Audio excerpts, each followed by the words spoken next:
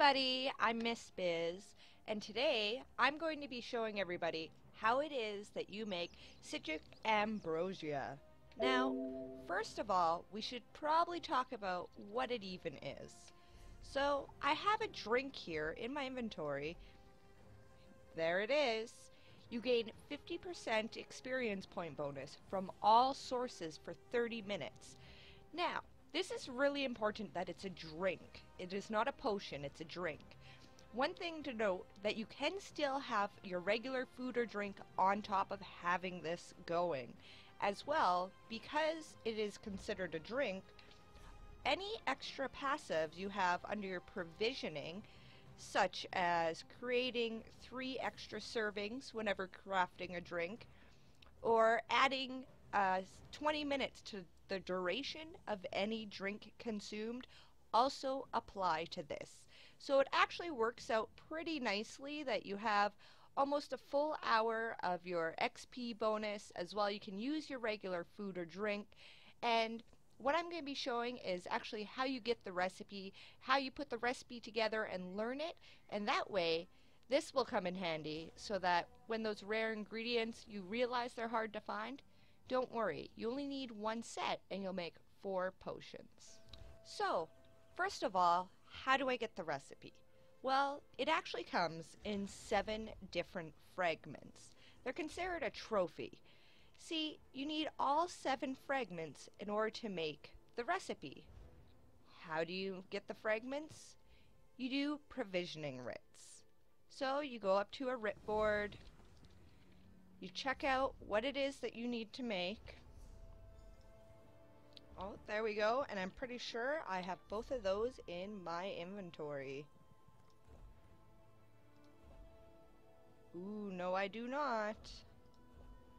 I need the Sipping Imga Tonic.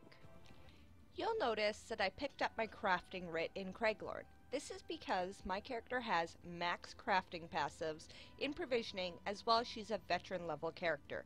The higher the level of provisioning writ, the higher the chance it is that you get fragments.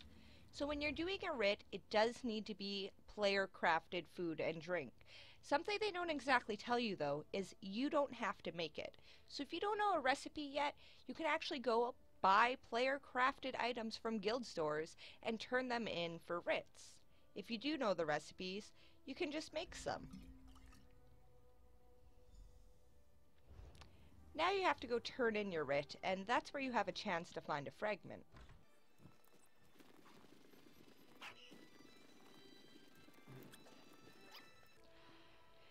Here you go. So I have all the items I need for my provisioning writ. So I'm going to hand it in, place the goods within the crate, and take my provisioning pack. When you open this provisioner's pack, there's a small chance that you can find one of the experience drink fragments inside of it. You'll see that we weren't that lucky today, but I have been lucky before, so I actually do have all seven fragments. Once you have all seven fragments, which can also be purchased from guild stores if you have the add-on that allows you to search for trophies. As well, you can trade with other players if you get duplicates or just buy straight up from another player. Those are all possible ways to get these fragments. Now, what do you do to actually get the whole recipe? Well, let me show you. You actually open up your quick slots and the recipe fragments will be able to go onto a quick slot. So just pick any recipe fragment, put it on your quick slot. Now I'm going to exit out. I'm going to go to my quick slot wheel and select that fragment.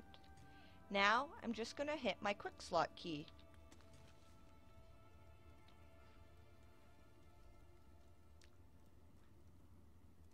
Ta-da! Now if we go into my inventory, you will see that I have a new recipe. I just took all those seven fragments, which as you can see are now gone, and created the actual recipe. Now, this recipe you can also sell or trade with other players. But kind of the whole point of finding it is so that you can make it yourself. So, let's learn it.